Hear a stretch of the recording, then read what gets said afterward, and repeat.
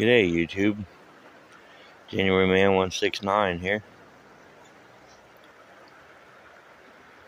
It's so relaxing out here by the river that, uh, you know, I like to, I like to start the videos off down here. You know, you guys, if you've been following my videos for a while, you're probably well, I really can't remember how many videos I posted of this, but last year the river washed the soil out from under this tree and laid it over. It's up there resting on a tree across the way. But uh, something I've noticed down here is the water pulling up that's P O O L I N G. Pulling underneath it there. Um, typically, you don't see a whole lot of fish in this water. I mean, none that you would really be interested in catching. You know, they're too little. Um, so, I don't know how long that tree will be here. This is not this is not part of my property right through here. Um, when I say my property, I rent a house. I don't own it. But uh, up here, y'all, there's a hill. Okay?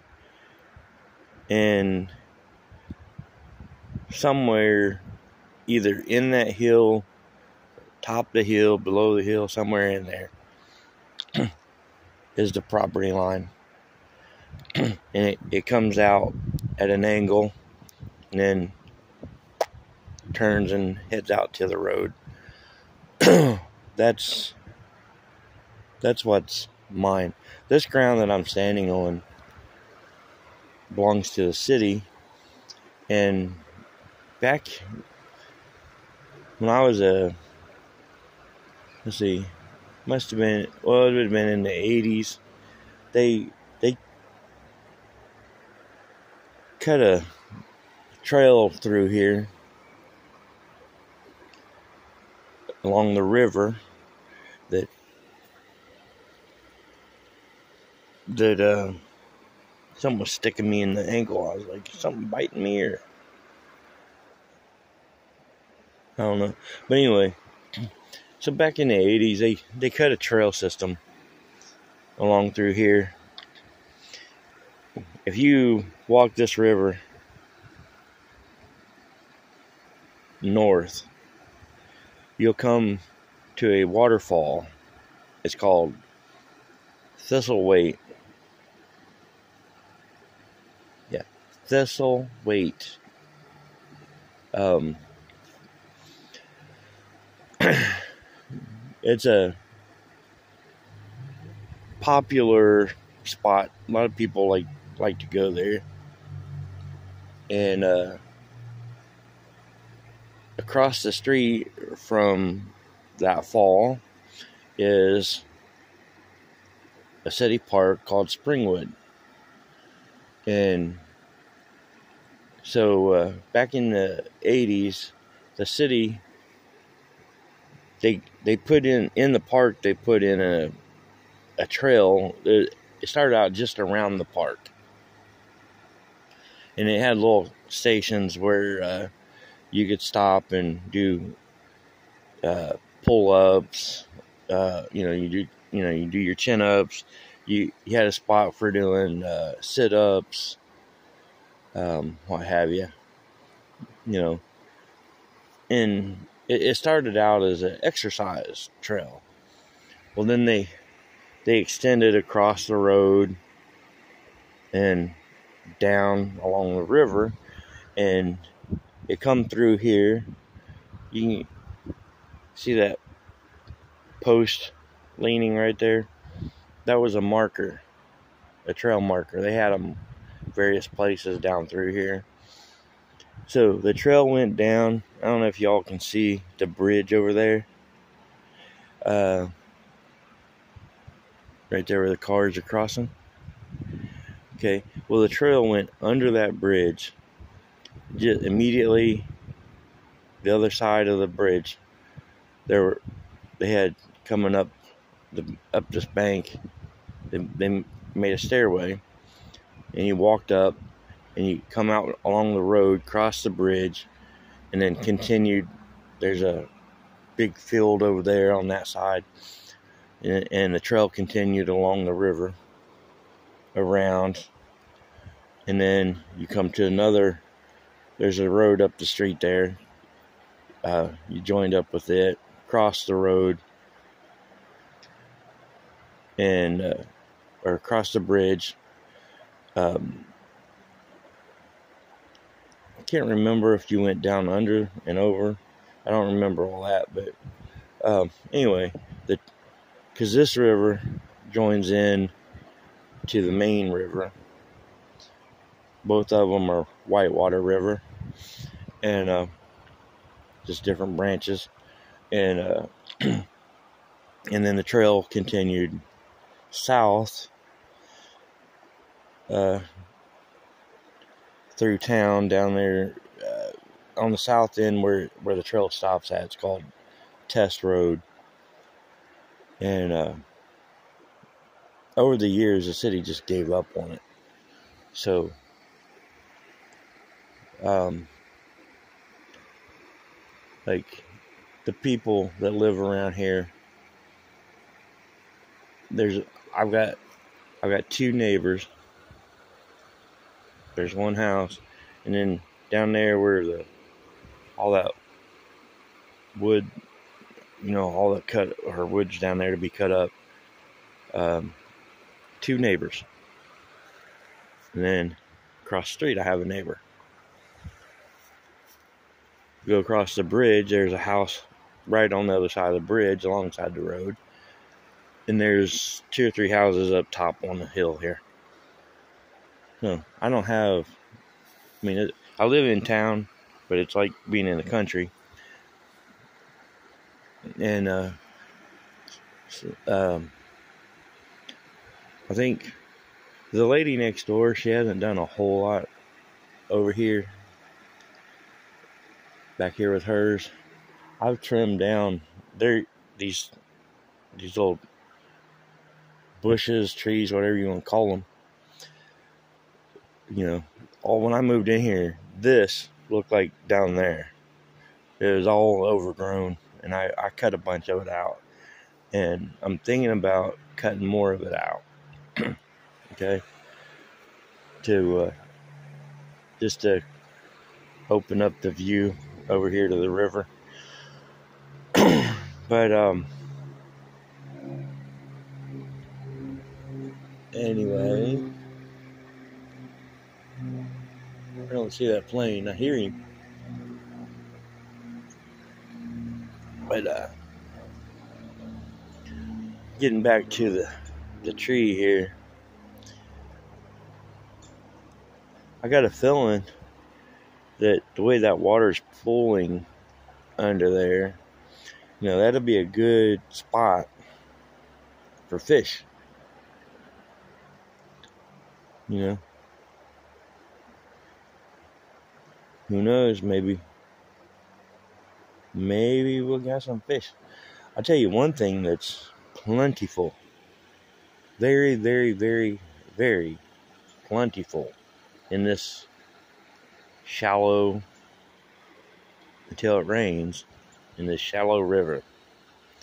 The one thing that is highly plentiful, and that's crawdads. Tons and tons of them. You just gotta get in there and look. You know, pull some rocks. They're in there. I mean, and uh, as a matter of fact, um, let me see. I don't want to step.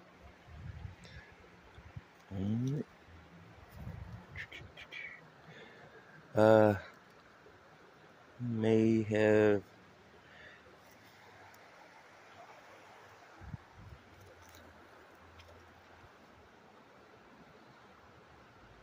Hmm. Yeah, here it is. Here it is. Here it is. This is a dead one.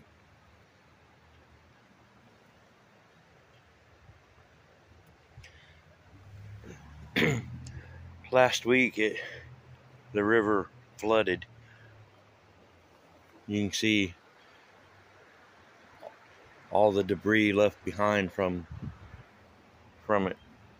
And after the water receded, that little guy was resting there. Already dead.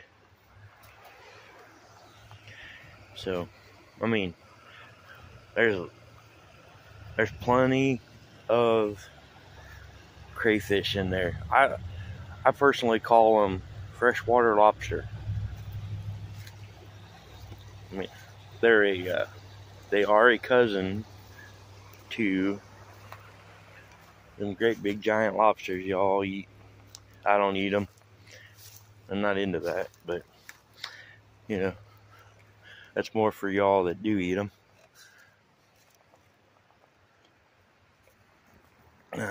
okay, so now that uh got my coffee out here hanging out by the river. It's a little chilly. It's supposed to get up 47. Uh, ain't quite there yet, but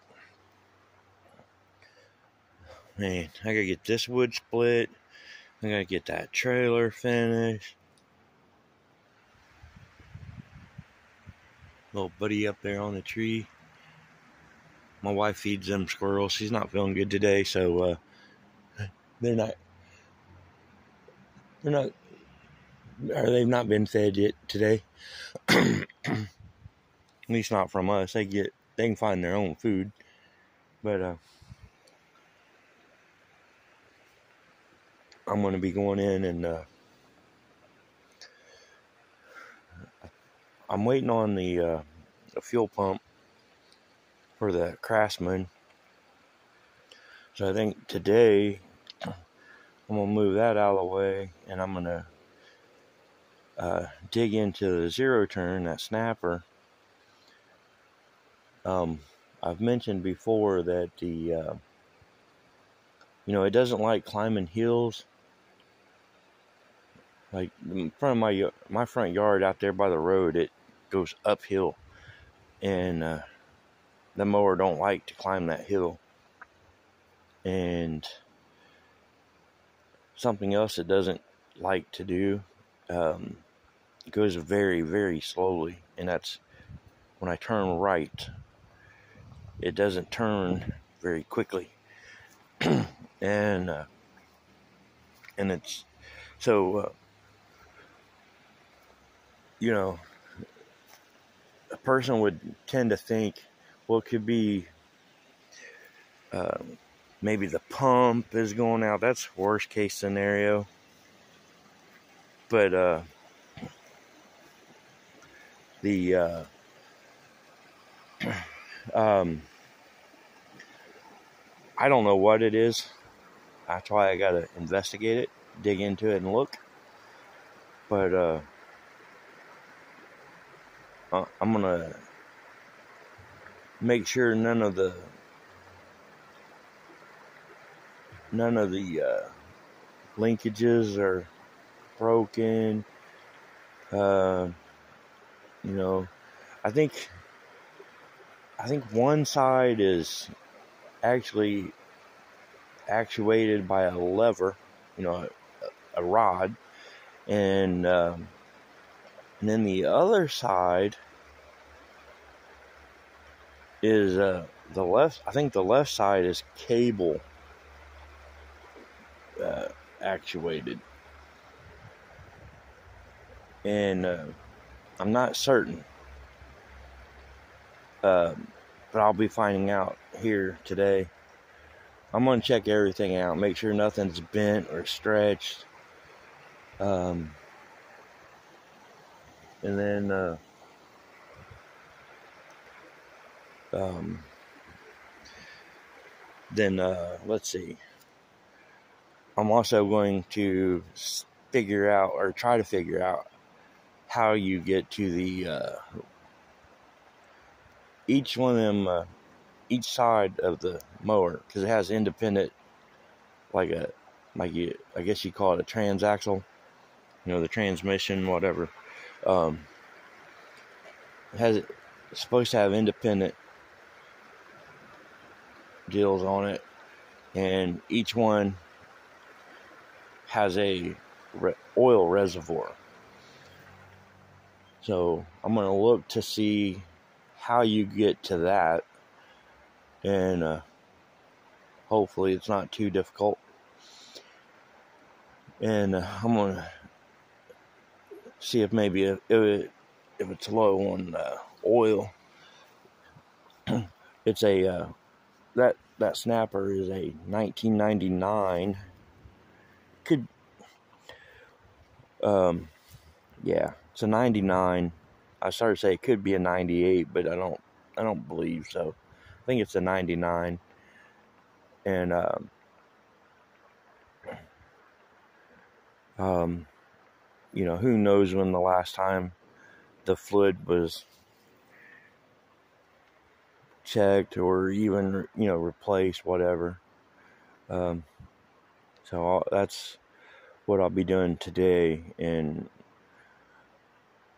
I may or may not make a video of it. I haven't decided yet um, but uh, y'all can comment. Let me know if uh, if that's something that you'd like to see um, it's one of the that particular zero turn, it's a joystick type. It's a 18 horse, 48 inch cut, zero turn joystick control.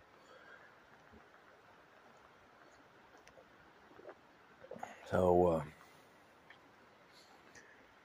yeah, we're at almost 18 minutes. I reckon uh, we'll uh, end this video here, and then I I can work on uh, digging into that. So, uh, we'll catch you guys later.